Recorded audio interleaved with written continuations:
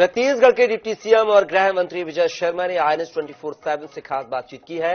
कवर्धा में बाहरी लोगों को बसाने और उनके नाम मतदाता सूची में जोड़ने के मामले में गृह मंत्री विजय शर्मा ने कहा है कि ऐसे लोगों के नाम मतदाता सूची में जोड़े गए हैं, जिन्हें बीएलओ और गाँव की जनता तक नहीं जानती है।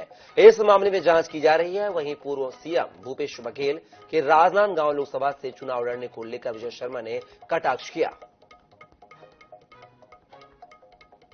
लोकसभा चुनाव को लेकर भाजपा पूरी तैयारियों के साथ जुटी हुई है। हमारे साथ अभी उप मुख्यमंत्री और गृह मंत्री विजय शर्मा हम सीधे उनसे जुड़ लेते हैं।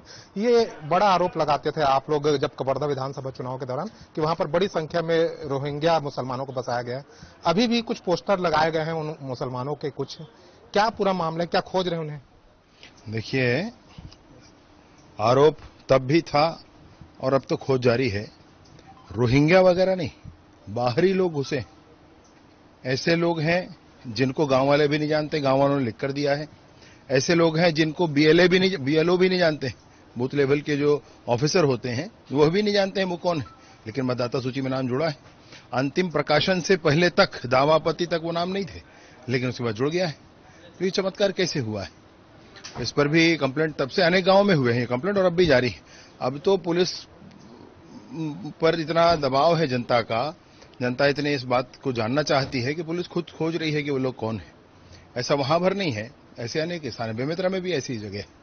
कितने मुसलमान होंगे जो कवर्धा में इस प्रकार के मतदाता सूची में जिनके नाम जोड़ेगा मुसलमानों की संख्या भी ज़्यादा है उसमें और अन्य लोगों की भी संख्या है। अन्य लोग भी उसमें जुड़े हुए हैं। किसी ने अनुशंसा किया होगा तब नाम जुड़े होंगे?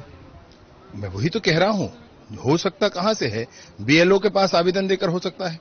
गाँव वाले जिसको जानते हैं उसका बात बताएँगे कि हाँ ये गाँव में रहने वाले उनका हो सकता है। अगर दोनों ने लिखित में कहा है अनेक गाँवों के लिए कि हम नहीं जानते तो वो कौन है? उसका निर्णय होना चाहिए। एफआईआर कर रहे हैं क्योंकि पुलिस ने पोस्टर लगाया उनकी खोजबीन कर रही है। हाँ खोज तो रहे। न मिले और कुछ न होगा तो मैं सोचता हूँ कि उस पर जाँच भी आगे होगी। चुनाव आयोग से मांग करेंगे कि उनके नाम को विलोपित किया जाए।